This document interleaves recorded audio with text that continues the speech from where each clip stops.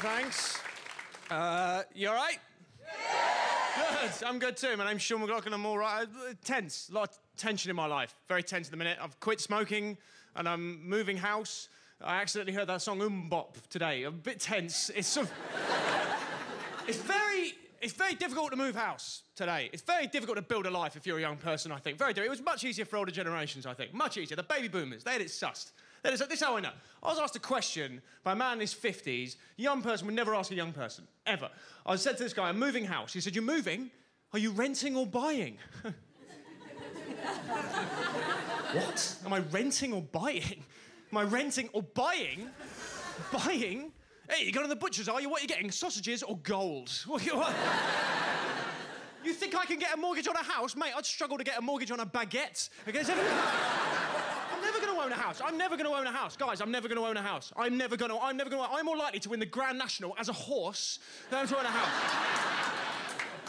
Maybe some of you are thinking, but Sean, what about the fact there are parts of the country that are pretty affordable for a first time buyer? Oh, really, are there? Are there parts of the country where the asking price for a house is minus £1,600? Because that's my budget.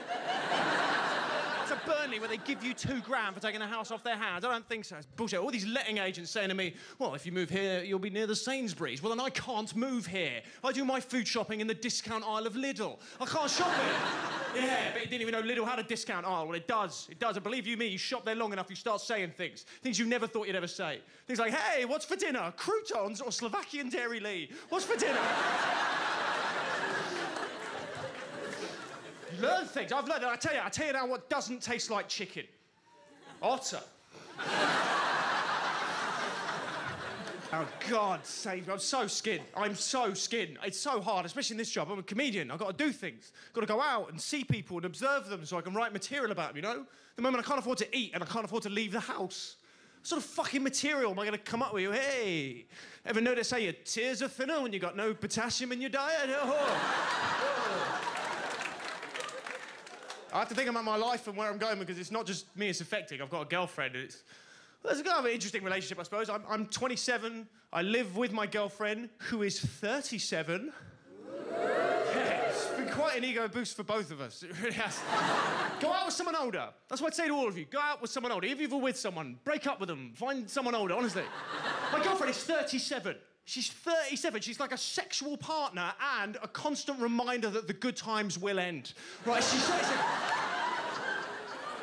But yeah, what can two 27 year olds offer each other apart from hope? Nothing. We can offer things. It's a system. I give her money for hit medicine, she gives me Werther's originals. It's a system.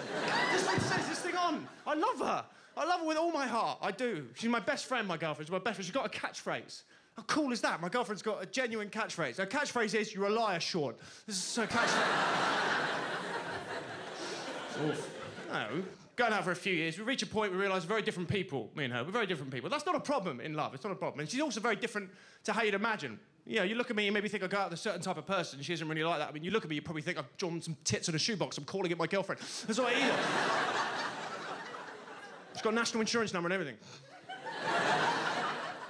but I suppose the big difference is, is that she wants to get married. She's at an age, I guess, she wants to get married. And the thing is, I, I love her. I don't know if I love her enough to marry her.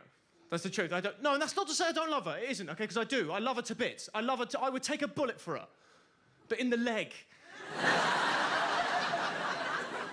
Does that make sense? I wouldn't take a headshot. I would... Or should I? If one of us has to die, it shouldn't be me. I'm young. I can still have a happy life. anyway, um, that's me. Um, my name's Sean McLoughlin. Thank you very much. Hope you've enjoyed it. Thank you.